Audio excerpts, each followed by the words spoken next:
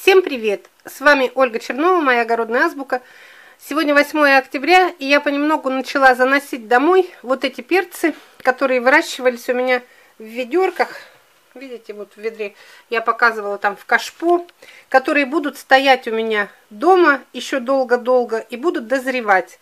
Вот этот перец оранжевый гном, и я не могла пройти мимо него, чтобы не показать. Это тоже новинка, я купила пачку в магазине, соблазнилась на такую красочную упаковку. Вот такой он был красивый весь, компактный, густой, зеленый. Я, конечно, не поверила, что он... Обычно картинка всегда красивее, чем в жизни на самом деле. Я не поверила, что будет такой красивый перец, но все-таки взяла.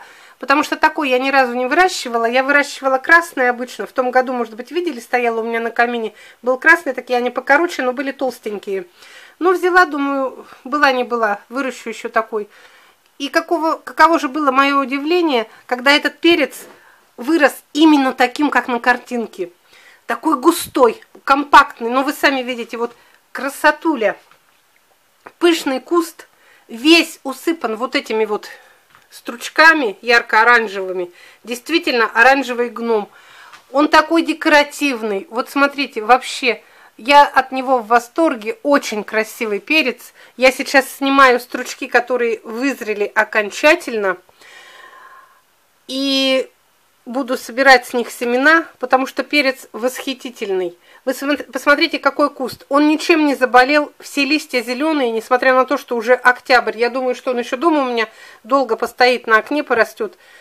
Листья все зеленые, никакие не деформированные, не желтые, нет одного, ни одного желтенького. А какими пучками, прям это, богатыми, смотрите, раз, два, три, по шесть, по семь этих стручочков, прям в одном месте. Они такие, как группами, группами. Очень хороший перец.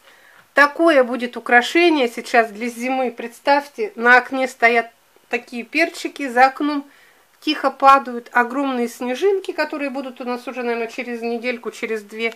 И вот этот оранжевый гном будет напоминать нам о лете. Ну, прелесть, красота. Прям как будто бы вот принесен, куплен из садового магазина. Там все вот такие какие-то карликовые у них растения, очень красивые, очень дорогие по заоблачным ценам. Но вот такой оранжевый гном можно вырастить самим в огороде и занести потом на зиму домой. Это Потеряла я пачку, хотела прочитать, ну, что о нем написано. Это горшочный сорт комнатный. Он карликовый, он вот такой маленький, большой не растет, не требует никакого формирования, ничего. Я за ним совершенно не ухаживала. Высадила в горшочек, и он все лето стоял вот в этом, в пятилитровом горшочке в ведерке. Все, до свидания. Вот это наш красавец оранжевый гном.